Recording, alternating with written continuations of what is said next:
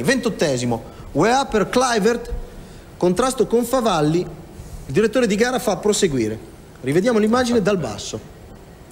E ha fatto bene. Chiederei subito un parere a Giovanni Galli. Sì, sì, no, Favalli colpisce la palla, la svirgola, però colpisce la palla, ecco, in questo momento. Poi dopo, nel proseguo della corsa, va addosso all'attaccante e gli impedisce però di poter intervenire sul pallone. Di giocare. bisogna- di Sentiamo giocare. Taibi, perché io non sono molto d'accordo con Giovanni, per esempio. Forse di l'immagine. parte. Rivediamo le immagini del frate, per favore. Se osservate il piede di Clivert, è lui che con la suola tocca la palla per primo, anticipa. Guarda, schiaccia la palla a terra, proprio in questo momento. Ma infatti Si vede molto ma Favalli bene. ugualmente tocca la palla, vedi? No, la momento? palla gli passa sotto. Guarda, A me dà la sensazione. lui schiaccia la palla con la suola, la palla passa sotto la gamba tesa di Favalli. Parere di Taibi e di Ubner.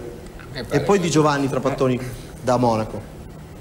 Ma è un rigore che secondo me si può anche dare, visto quello che Molto difficile da vedere per l'arbitro. è eh, difficile per perché l'arbitro, mi rendo conto, anche se sembra che sia Clivert prima a prendere la palla, però sa, mi rendo conto che in queste circostanze è un po' difficile. Qui siamo già sull'episodio successivo. Questo è l'episodio che ha visto protagonisti al trentesimo Jugovic e Boban. Parere di Dario Ubner. E non abbiamo visto. Poteva starci, qua ci poteva stare il rigore. C'è Boban che anticipa, Ecco. mette la palla avanti in profondità, Jugovic, intervento di Jugovic sul giocatore del Milan. Rivediamo. Vediamo dall'altra immagine del Ecco. frate perché questo replay è un Sì, pochino troppo stretto. Eh, questo qui è più evidente. Degli annesta di spostarsi. Dà un po' l'impressione Jugovic di dis- disinteressarsi completamente della palla e di andare dritto sull'uomo. Sentiamo Trapattoni, che non è parte in causa e quindi Beh, è, un, è un fallo un po' simile poi al calcio di rigore eh, che la Lazio ha avuto, in una posizione diversa. No?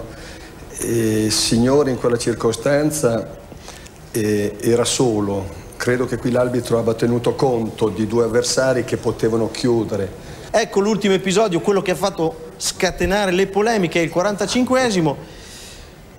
Colpo di testa verso l'attacco del Milan, vedete la respinta, arriva Nedved, anticipa di testa, poi c'è Maldini, c'è Carini che alle spalle comanda il calcio di rigore. Adesso pregherei Marco Del Frate di fermare l'azione esattamente sull'appoggio di Maldini per fare vedere se c'è contatto tra i due oppure no.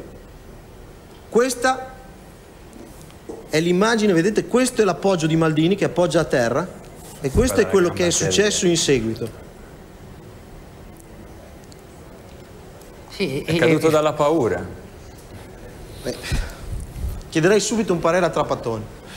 Eh, io avevo visto l'immagine da un'altra, da un'altra Angolazione. angolazione e mi sembrava che Maldini avesse un contatto con eh, Nevet che pensavo fosse Signore.